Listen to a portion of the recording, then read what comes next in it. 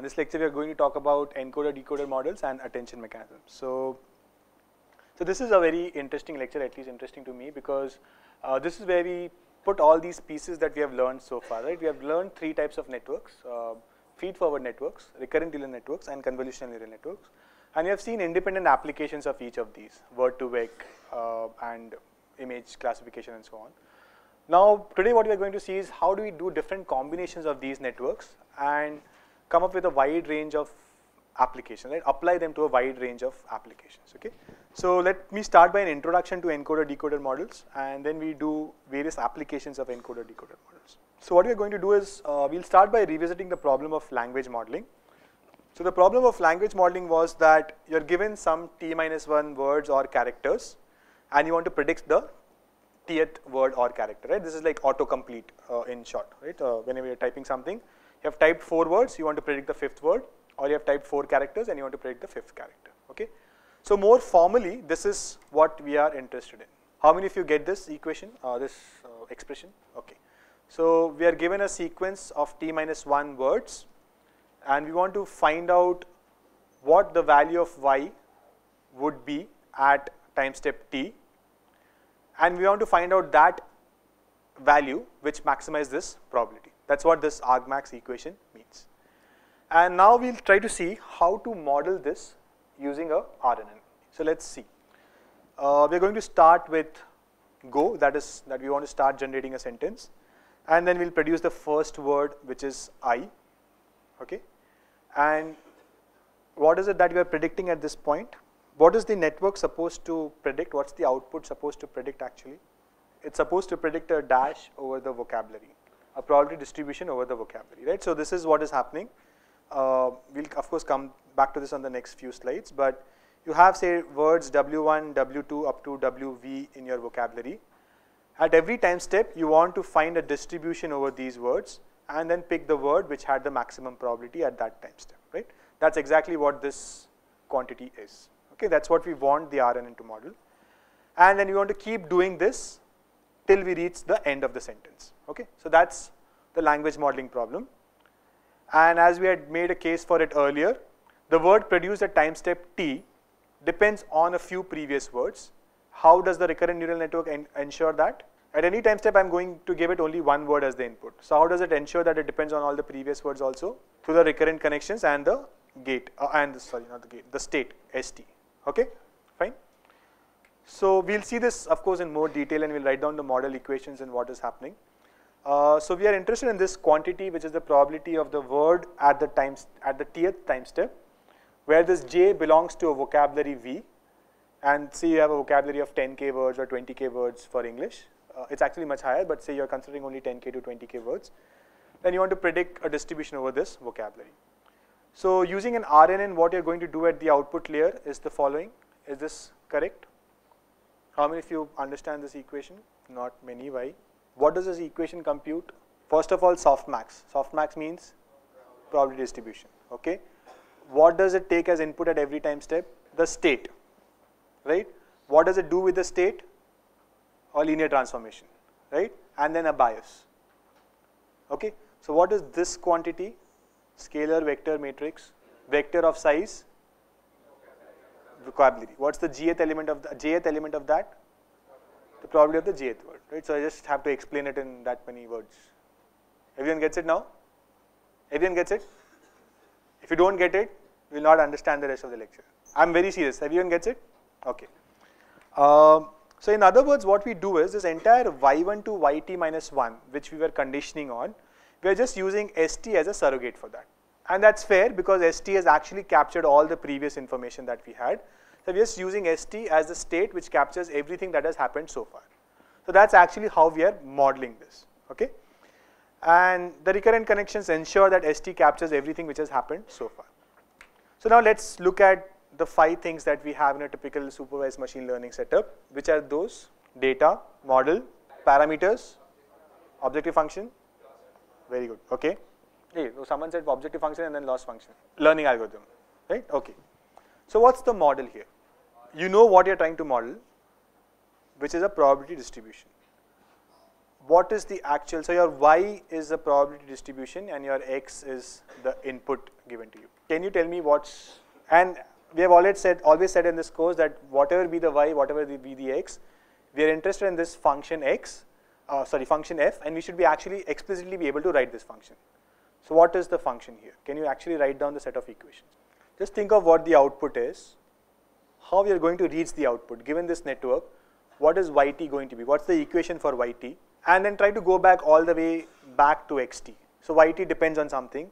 That something might depend on xt. So how do you go all the way back? Right? That's the thing which I expect you to do. Okay. How many of you get it now?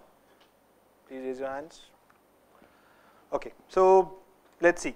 At every time step, what am I interested in predicting? A probability distribution. That means I'll have to compute which function? Softmax. Okay. So the green vector is what I'm going to focus on. So what's the equation for the green vector? Is this fine? Okay. Now what does this contain apart from the parameters st? How do I get st? Is it fine? You can write, now you have written this output y as a function of x because x appears here or rather yt as a function of xt. Is it, I mean, it's straightforward, right? Once I show you the answer, it should be. How many of you get it now? Please raise your hands high, up, above, okay. What are the parameters? B and C, right? So these are the parameters. Uh, what's the objective function? Cross entropy or dash of cross entropies, sum of cross entropies, right? So the loss is going to be over all the time steps. At every time step, it's the cross entropy loss, right? Everyone gets this? Okay, what's the learning algorithm? Back propagation through time, okay? Fine, so that's what it is going to be, right? Everyone is clear? So you can see that we have written the final output as a function of the input, right? And this is end-to-end -end trainable. That means the gradients can flow modulo this vanishing exploding, exploding gradient problem. And we have a way of handling that. We can replace RNNs by LSTMs and so on, right?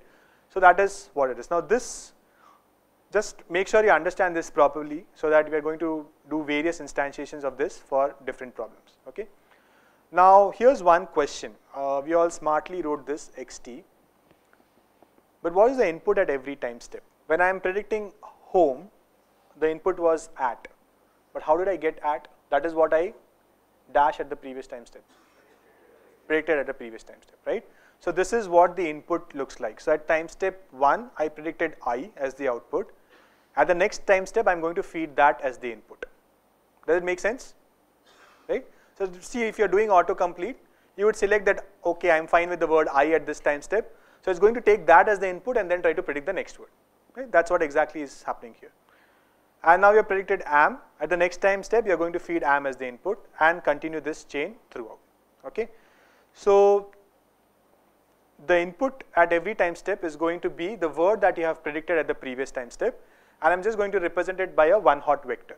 Right. It's the index of the jth word. Only that would be hot. Everything else would be zero. And all of you are fine with this. No. So at training time, this is the inference time. At training time, you'll have the real inputs. No, that's at inference time. At training time, you'll just use the true, because at training time, you know what the inputs are, right? You know the true sentence, you have the Wikipedia sentence, right? And you know what the true sentence is going to be. What I'm talking about, how will you generate it at test time? At training time, you know all these things, right? No, but at training time, how will you do that? You'll know what the next input is, right? Right? Okay. So now, okay, so I said that the input is going to be a one hot vector. Is everyone fine with that? One hot vectors are okay. What else could you use? The word representation for that, right? So assume that you have already done the word2vec assignment and you have computed all the word representations and you have them with you now. Now instead of feeding the one hot representation of the input, you can just feed the word representation of the input. Does that make sense? One hot representation is just one of the many representations possible for the word. So why just do that? You could do SVD, you could do one uh, word wake or whatever you want, right? So that is in practice what we'll feed is the word2vec representation. So everyone gets this, what is happening at every time step, okay? Now, one more thing that you need to notice that S0, which is the input at time step 1, the previous, so S1 minus 1, so that we don't know what it is. So we just keep it as a parameter. We say that S0 is also a weight vector and we are going to learn it along with all the other parameters in the network. Does that make sense? Because we don't know what S0 means. The semantics of it is not clear. Like what was generated at the zero time step, we don't really know, right? So we'll just make it a learnable parameter and that would be trained along with all the other parameters of the network. So before we move on, what we are going to do is, we're going to see a very compact representations for RNNs, GRUs and LSTMs. So remember RNN is the following equation. RNN is defined by the following equation. The ST is a recursive function of ST minus 1 and XT, right? So I'm just going to write it as that. ST is equal to RNN of ST minus 1 comma XT. Instead of writing all these parameters and sigmoids and all that, I'm just going to write it compactly as this. Now this is what, what is this? GRU. So how am I going to write it as? GRU of ST minus 1 comma XT. What is this? LSTM. How am I going to write it? LSTM of, remember the output of the LSTM is both HT minus 1 and ST minus 1, right? Fine. So in some, sometimes I'll just say ST Sometimes I'll say both HT minus HT and ST as per whatever I need, right? So this is, I'm not going to write these equations and parameters again. I'll just say that LSTM of this, assume that's a function which does uh, this calculation and gives you back, okay? Okay. So, so far what we have done is we have seen how to model the conditional probability distribution given the previous t minus 1 words. Now let me give you a different uh, application, right? Uh, what if we want to generate a sentence given an image? So this is what I'm interested in doing. I'm given an image and I want to generate a sentence. Can you just think of it formally, what is it that you want to do? So we saw that in this case, formally we were interested in this conditional distribution. In this case, what is it that we are formally interested in? If I were to write it as something formal, what would I write it as? Okay, I'll give you a hint what kind of a distribution is this? A conditional distribution, right? Given the previous sequences, uh, previous sequence of words, generate the tth word. Now in this situation, can you state it in similar words? Given the image, generate the sentence or given the image and the description that I have generated so far, because I want to write the description one word at a time, given the image and the description that I have written so far, generate the next word in the image. So now what kind of a conditional distribution is that? P of yt given y1 to t minus 1 comma image. Does that make sense? Everyone gets that? Okay. So what, uh, so this is what we want, right? So here now we are interested in this quantity as opposed to this quantity. Does that make sense? Okay and this is again a conditional distribution. So earlier, how did we model this? We just modeled it as the following. We said that the whole context of y1 to yt minus 1 is just contained in that blue vector which is st, right? So remove this variables and replace it by a vector. Does that make sense? Okay. Now you have the image also. So how are you going to model this? So what are you going to write on the right hand side? Okay, let me give you a hint. we all agreed that this is the quantity that we are interested in, right? We also agreed that the following is fine. Replacing y1 to t minus 1 by st is fine. Now, what about the image? What do you mean by objects in the image? You will supply the words which are there, the object names that man, okay, fine, that's fair enough. If you want to make it more abstract, more neural, so what you're saying is that whatever information is contained in the image should be passed here. Whatever information is contained in the image should be passed here. How do you, what's the way that we have learned of computing the information in the image? A dash neural network. A feed forward neural network. Convolutional neural network. Okay. So, but what from a convolutional neural network? How many representations does a convolutional neural network learn? How many does a VGG network learn? VGG 16. The last layer is the softmax layer, 15, right? So which one will you give now? One before the last one. That's called the dash layer. Dash dash layer. Fully dash layer. Fully connected layer. Okay, at least your language model works fine. Okay, so that's the fully connected layer. Remember that all the layers in the convolutional neural network learn an abstract representation of the image. And as she was trying to say that this abstract representation contains or at least you believe it contains all the information that is there in the original image. just as ST contains all the information that was there in the sequence y1 to t minus 1. This abstract representation that we'll get from a CNN contains all the representation, all the information that is there in the image. We all believe that, okay? And we also believe that any of these representations is fine. In practice, the convention is to use the fully connected layer that is called as FC7, the seventh fully connected layer, right? And it's 7 because you also start the numbering from the convolution layer, 1, 2, 3, 4, 5, and then the seventh layer, okay?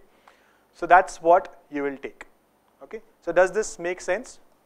And it's a very simple extension from what we were doing earlier. This is, what I have circled is what we were doing earlier, right? Where we only had ST.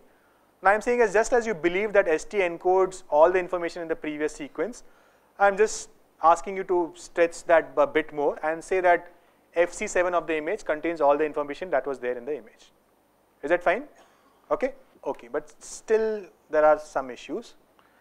And there are other ways of making this conditional on FC7. In particular, what you could have done as she was trying to suggest initially is that maybe you have a vocabulary of all the objects that are possible in your image, right? So maybe in your image there is man, woman, there is flying disc, frisbee, or there is dog, cat, and all these things, right? So you do an object detection first, get out all the objects which are there, and then make the distribution conditional on these objects, right? So you can say that I'll allow for 10 words to describe the image. So there word, word, word 1 is equal to man because I have detected the object man in the image. Word 2 is equal to frisbee because I have detected the object frisbee in the image and so on. So that's another way of doing it. Okay, so I just want to make it clear that there are different ways of making the conditional distribution conditional on the image itself. We are choosing to make it conditional on FC7 of i. Right? That's the neural way of doing it. Okay, so let us see two such options. The first thing that we could do is we could set S0 to FC7 of the image. What is S0? The first thing that was passed to the language model. Okay, so remember we had this go symbol and we had this S0 which was mysterious, we didn't know how it comes. But now we know it that S0 could just be the image. That's what my starting point is. So take this image and now start generating the representations, generating the description. Does that make sense? Okay. So this is what the network looks like. So what he's saying is that these things are of dimension D. The CNN's output was say of dimension 4096. So this has to be converted to size D, right? That means what will you, how will you do that? You have a 4096 dimensional vector and you want to convert it to a d-dimensional vector, w belonging to 4096 first d. Fine?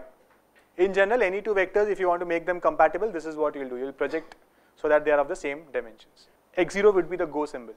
So the go is a special word in your vocabulary which says, okay, start generating the sentence. Right?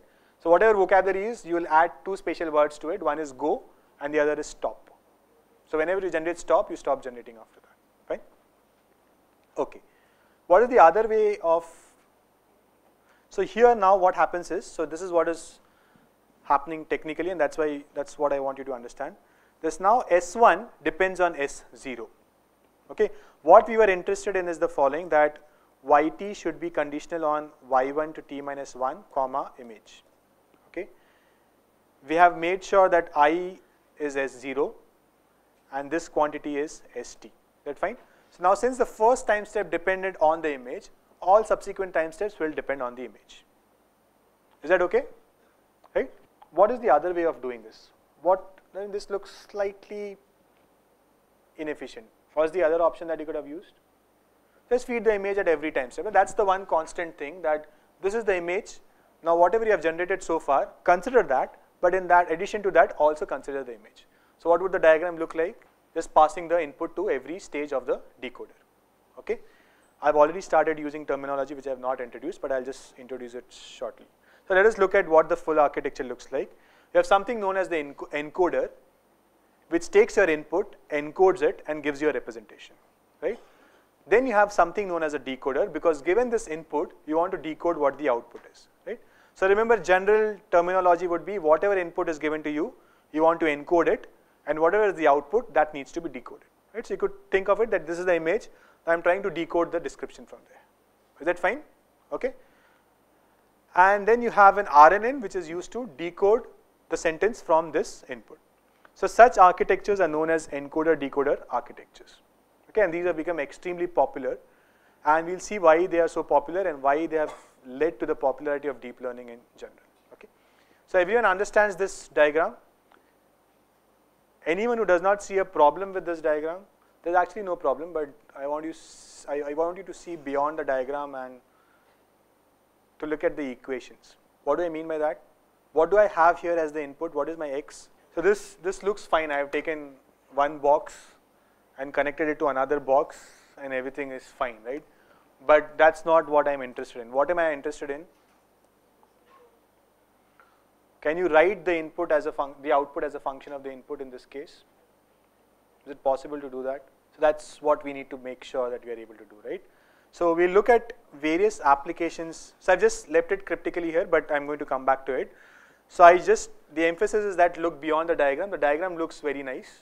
I hope it does, thanks to the TAs, but it does. And, uh, but we need to understand what is the, what is the set of equations being conveyed through this diagram, right? What is the function that we are trying to learn? We are going to write y as a function of x. Are we able to write that function? Because now we have suddenly thrown in a convolutional neural network. At some place we have a recurrent neural network, then we have the feed forward layer at the output, which is the green vectors. So how does all this combine together, right?